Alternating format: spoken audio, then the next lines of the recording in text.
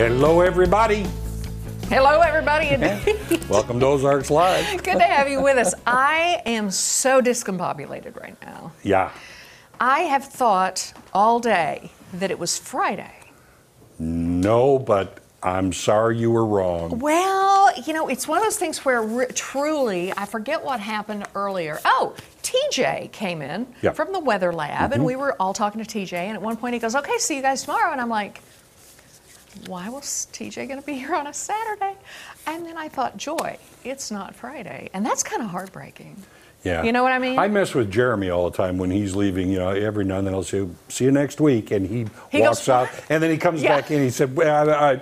I so I like to mess with him doing that. Well, you know how you always get off a day. Everybody has that Yeah. happen to them. Yeah. And um, one of our producers, Jake, said the same thing. He said, I've been off all week. I said, I've been fine all week until now. And I just got my heart broken that it was only Thursday. I mean, truly, yeah. I, I've got to I've got to reset my mind. So anyway, woe is me. I'm sorry to burden you with that, but it's just been a weird feeling all day long. And since you brought up TJ, okay. just to let you all know, I mean, since meteorologist, I'm just speaking to Jamie, you know, Yeah. our chief meteorologist. News out of the weather lab. Yeah, and and it's like the um, winter weather advisory is going to be moving in about 6 a.m. tomorrow until the you know nighttime hours, and uh, thinking I think it's along a line 60 highway and, and north, Mm-hmm. but there could be like 45 mile per hour wind gusts, temps in the 30s. Well, I tell you what. Tune in to Jamie at like 5, 6, 9, and 10. He'll give you all the details, but just be ready for it. You think it's windy out now, 45 miles per hour is a little bit higher than what we've been Yeah, having and the, today. the snow might be blowing sideways. Yeah. But um, real quick, if you haven't heard, some sad news out of, I started to say Hollywood, but I guess it would be out Las of Las Vegas, Vegas. yeah. Um, you know, Siegfried and Roy had forever had like that, that amazing show, that magic, Magic act Act that they did with the with white Tigers. tigers and white lions. Well, and- Siegfried died today. Siegfried passed away, so Siegfried and Roy literally are no more because Roy, um, who had been maimed by the tiger, died of COVID earlier. Oh, within, Within the last year. six months ish, Yeah. maybe something like that. So anyway, yeah, so it's kind of some sad news to report. That was a great show. I saw it a million years ago. been around for a long time. Long time. Highest paid entertainers in Las Vegas for a long time. Not surprised. All right. Yeah. Now we have a jam-packed show for you today. Downing Street Pour House will be showing us their wares. And the giant pretzel, I love it. And we have another edition of Shelter Spotlight, complete with a fuzzy buddy that you're gonna love. Yeah, Chris the Critic gives us the latest from the box office. Yeah, and ET tells us about a secret giant moving to our television, rather a screen giant moving to our television. Ah, and It's not gonna be Joy is going to show us an easy way to create a great dessert.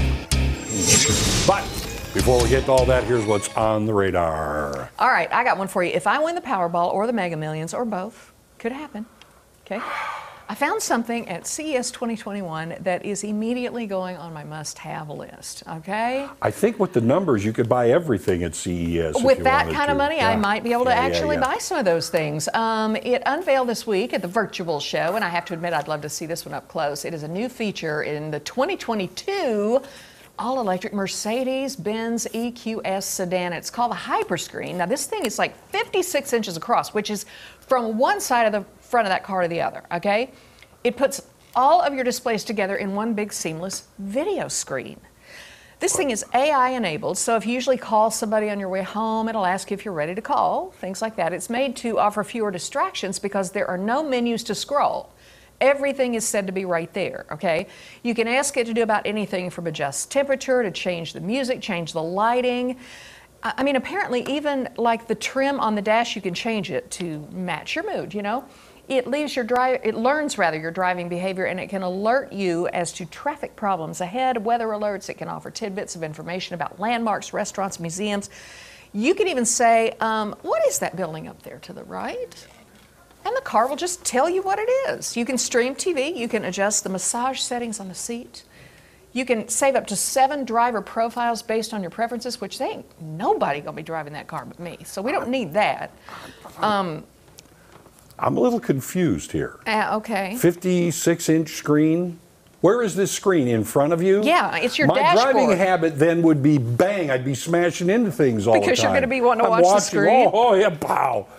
I don't know. Well, last year at the show, we ran into the people who make the Byton car, B Y T O N. Yep. And those cars have something similar. And Yeah. CBS Viacom was all about programming for the car. Because, you know, you need to be watching a lot of TV while you're driving. I think that Mercedes is going to be more expensive than that TV you talked Don't you about know it? Yeah. All right, now this might be considered the ultimate, ultimate dream job. Basically, it boils down to watching TV and eating pizza, which I consider myself a professional at. We are professionals. An. Olympic champion. All right.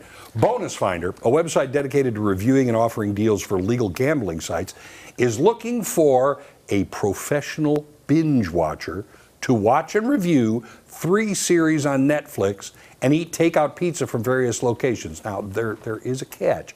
You can't just sit around watching and eating. No, no, no, no, no.